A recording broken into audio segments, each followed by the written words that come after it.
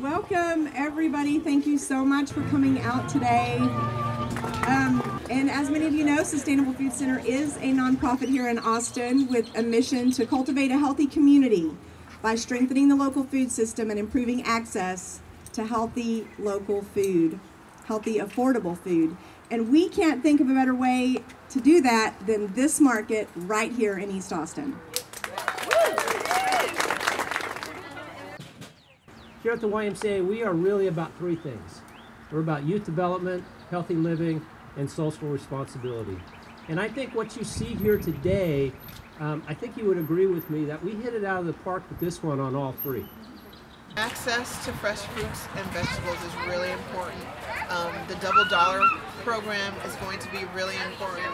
Uh, I think just, you know, everything that the Y stands for in terms of healthy eating for us to partner with them so that people in this neighborhood can have access to that is going to be huge. This is one of the only places that I can actually walk to from my house, so this is perfect. They're starting to eat solids, so being able to buy organic food that's local.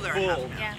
Yeah, I really like supporting the local farmers, and I really like fresh, good produce. and stuff. The farmers markets are really where we uh, have our shop front and uh, we do all the nice lovely cupcakes and sweet baked goods for everybody to enjoy. You know, a lot of your more uh, commercial places, Whole Foods, uh, Central Market, places like that, they want uh, big, somebody that can supply quantity. And we cannot supply quantity because we're just a small family farm. And so the farmer's market is really a, a good outlet because we can take our product as it's available and uh, supply, you know, individuals instead of a big corp, big company like that.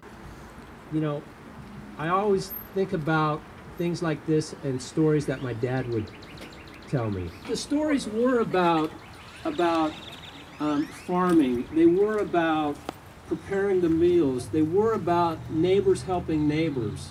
They were all these wonderful stories. If you had an abundance of one thing, if your apple tree produced more than you could eat, you gave those apples to your neighbors. To me, that's what this is all about. It's helping our brothers and sisters. It's it's it's it really is about one word. It's about community and what that means. And that means people coming together, breaking bread, and really looking after one another. Thank you very much.